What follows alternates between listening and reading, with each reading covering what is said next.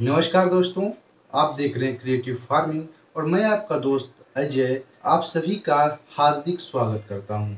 दोस्तों, आज का वीडियो कुछ ऐसा है कि मैं आपको आज हार्वेस्टर किस प्रकार से बनाया जाता है, इसके सारे इंस्ट्रूमेंट किस तरह से तैयार किए जाते हैं, इसमें कैसे पेंट किया जाता है, इसके सारे जितने भी इंस्ट्रूमेंट रहते हैं, कैसे अटैच किए जाते हैं, सारी जानकारी आपको, इसकी पूरी प्रोसेस हम आपको इस वीडियो के माध्यम से बताने वाले हैं।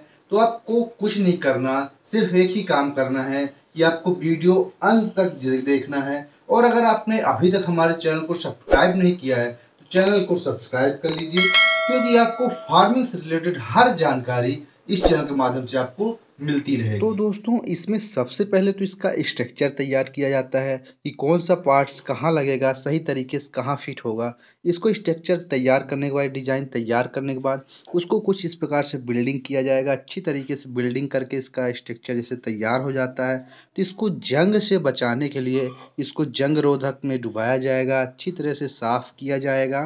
जैसा कि आप देख पा रहे हैं, कुछ यहाँ पास इसको डुबा के इसको अच्छे से जंग रोधक बनाया जाएगा, जिससे कि एक लंबे समय तक हार्वेस्टर पे जंग ना लगे, क्योंकि हार्वेस्टर ज़्यादातर बाहर खड़ा रहता है। इस कारण से इसको जंग से बचाने के लिए इस तरह से किया जाता है। इसको करने के बाद इसको अच्छी तरह से वॉश किया जाता है, जैसा कि आप देख पा रहे हैं। जिससे कि इसमें लगी हुई जितनी भी धूल या मिट्टी जो भी लगी रहती है वह साफ़ हो सके और अच्छी से, अच्छी तरह से साफ़ करने के बाद इसको जैसे कि इसमें पेंट किया जाएगा तो पेंट की शाइनिंग सही से आए तो इस कारण से इसको अच्छी तरह से वॉश किया जा रहा है जैसे कि आप वीडियो पे देख पा रहे हैं इस तरह से वाश करने के बाद इसमें पेंट किया जाएगा। पेंट दोस्तों पहले एक प्राइमरी पेंट होगा जो कि काला या ग्रे कलर का रहेगा।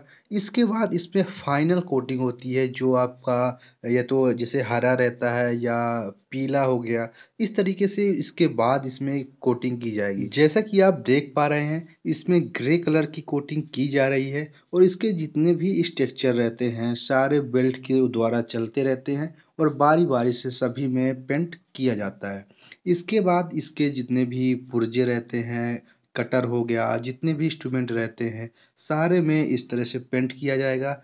और इसको जैसा कि आप वीडियो पे देख पा रहे हैं, इस तरह से ये भी बेल्ट के सहारे चलते रहते हैं और इसको पेंट करने के बाद इसमें फाइनल कोटिंग की जाएगी, जो इसका रियल कलर होता है, उसको अच्छे साफ़ करके इसमें किया जाएगा। जैसे कि आप वीडियो पे देख पा रहे हैं, कुछ इस प्रकार से इसमें फाइनल पेंट जो किया जाता है, उसकी सही से शाइनिंग है कि नहीं, इसको टेस्ट किया जाता है। इसके बाद इसमें अदर काम किया जाता है, जैसे कि इसका इंजन इसका दमदार इंजन बनाने का काम पहले किया जाता है, जैसे कि आप वीडियो पे देख पा रहे हैं, इसमें एक दमदार, अच्छी, उच्च गुणवत्ता वाला, अच्छे टॉर्क वाला इंजन तैयार किया जाता है।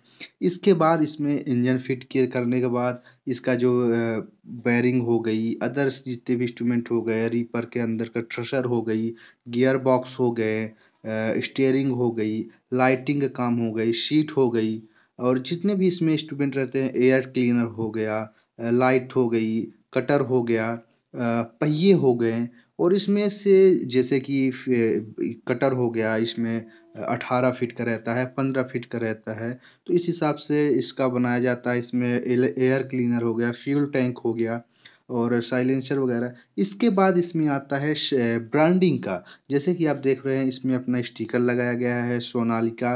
हर कंपनी अपना अलग अलग स्टिकर अलग अलग ब्रांड का अपना स्टिकर लगाती है। इसके बाद इस ये कुछ फाइनल इस तरह से रेडी हो जाता है। इसके सारे पार्ट्स लगाने के बाद इसमें देखा जाता है कि इसके कहीं कोई स, कोई पार्ट्स रह तो नहीं गया जैसे बैरिंग है इसमें फाइन बेल्ट हो गया। इसको अच्छे से जांचने के बाद इसकी ट्रायल लिया जाता है। इस हार्वेस्टर सही से वर्क कर रहा है सही से चल रहा है इसके सारे इंस्ट्रूमेंट अपना सही से काम कर रहे हैं कि नहीं। इसको वर्क करने के बाद इसको अपने फ़ील्ड पर इसको चलाया जाता है। अच्छे से इसकी प्रोसेस करने के बाद इसका फाइनल टेस्ट करने के बाद कुछ इस प्रकार से बाज़ार में सेल करने के लिए डीलर के पास पहुँच जाता है। इसके बाद ये आप तक पहुँचता है। तो दोस्तों, आज का ये वीडियो आपको कैसा लगा? आप लाइक करें, शेयर करें और अपनी जो भी प्रतिक्रिया है, आप हमें कमेंट बॉक्स के द्वारा आप हमें बताएँ और आप देखते रहें क्रिएटिव फ़ार्मिंग।